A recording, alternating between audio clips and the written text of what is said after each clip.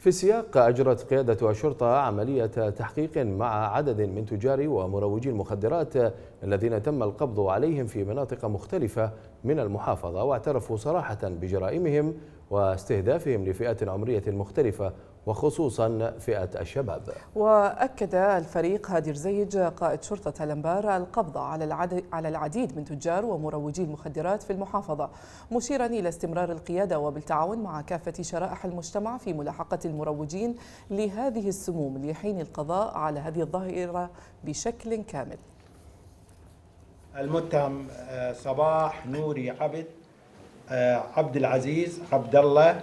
آه، طبعا جميعهم من مدينة الرمادي هذا النشاط.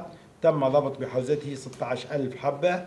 المتهم الثاني نافع معيوف علي خلف. تم ضبط بحوزته 30 ألف حبة.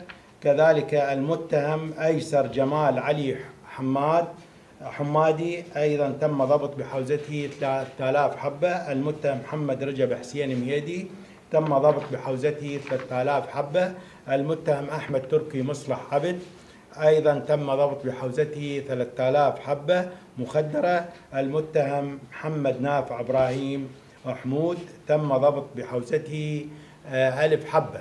قيادة شرطة الأنبار تعاهد محافظة الأنبار وأهالي هذه المحافظة والحكومة المحلية أن تكون وهي العيون الساهرة بمطاردة الجريمة أينما تكن ومهما تكن نوعها وشكلها سواء كانت جريمة جنائية قتل أو سرقة أو أي شيء معين وكذلك الجرائم الإرهابية وبنفس الوقت أيضا الجريمة الأهم والأخطر في المجتمع هي جريمة المخدرات.